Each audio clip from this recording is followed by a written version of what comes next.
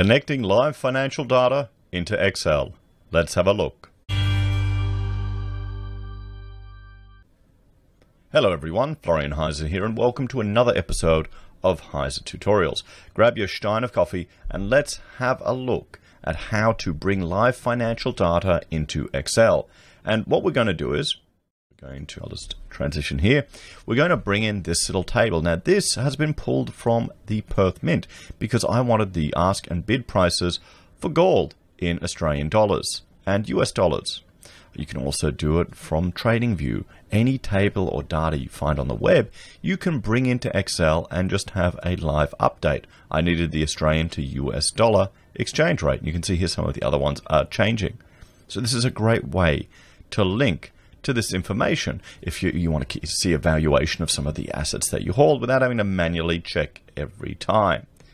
And I, I frankly, I'm embarrassed that I've only just learned about it this morning. So I thought, you know, Rachel told me you need to make a video on this because I'm sure there are a lot of people that would appreciate it. So if we jump over here, we have the Perth Mint website with just the spot prices, their metal prices here.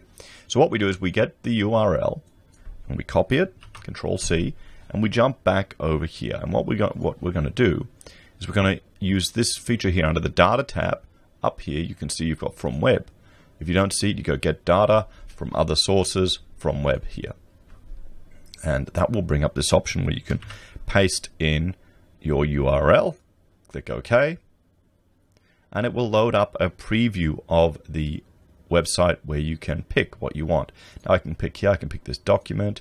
This is the Perth Mint um, you know, buy and sell prices. You know, what if you wanted to track physical bars, how much you'd sell them for?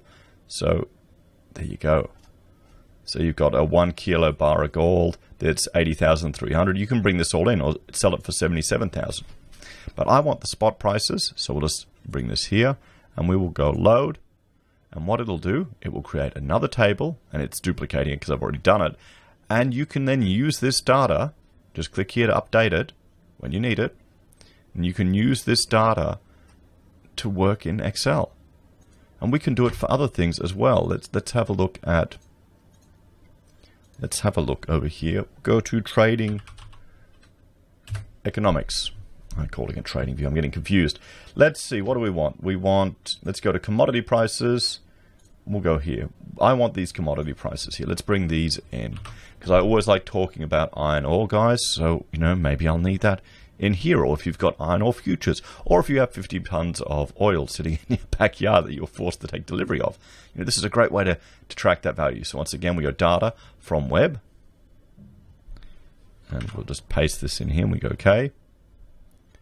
And I want to go to commodities.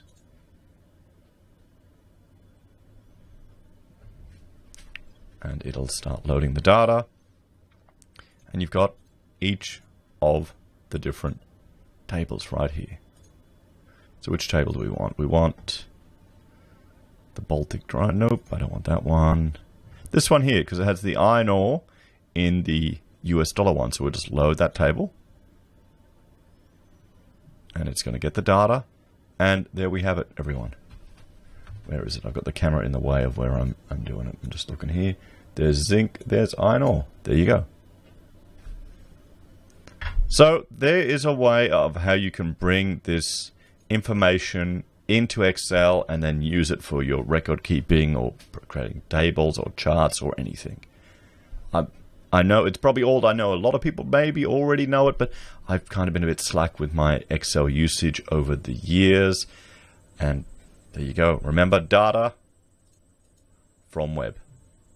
There you have it, guys. Thanks for watching. Please like, share, and subscribe to the channel. If you're a fan and want to support the content I create here, there are a few ways you can. You can join us on YouTube or Patreon, supporting support us using our affiliate links at Amazon, eBay, Independent Reserve, or Aussie Broadband. You can buy merch from Heise Says, use Gold Pass from the Perth Mint, or support us via PayPal. Take care, and I will see you all in the next episode. Bye for now.